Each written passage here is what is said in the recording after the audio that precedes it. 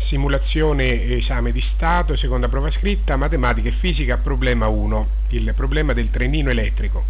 Nel testo si parla di un vagone che proviene da sinistra, che subisce un forte rallentamento fino quasi a fermarsi.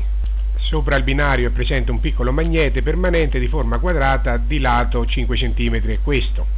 Sul fondo del vagone è presente una cornice quadrata, questa, di dimensione uguale al magnete, su cui è avvolto un filo a formare una spira quadrata di resistenza eh, questo valore. Quando il vagone passa sopra il magnete, il vagone passa sopra il magnete, la spira passa sopra il magnete e in questo passaggio il vagone rallenta, quindi è un freno magnetico. Leggiamo tutte le domande. Spiega qualitativamente l'origine della forza frenante dovuta al passaggio della spira sopra il magnete.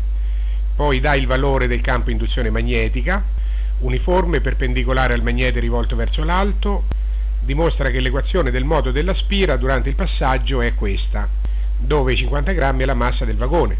Verifica che l'equazione del moto ha questa soluzione, dove V0 è la velocità del vagone, nel momento in cui entra nel campo del magnete permanente.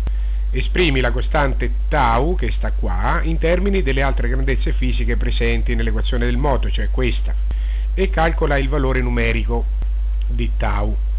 Poi se il vagone si muove con questa velocità iniziale, determina il tempo che la spira impiega ad attraversare completamente il magnete e la velocità che ha dopo aver attraversato il magnete.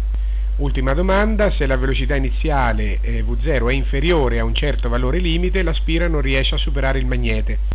Allora il freno agisce come un blocco insormontabile per il vagone e determina il valore numerico di questa velocità limite. Ora fermatevi qui, provate a risolvere eh, da soli tutte queste domande e poi soltanto alla fine guardate lo svolgimento che segue.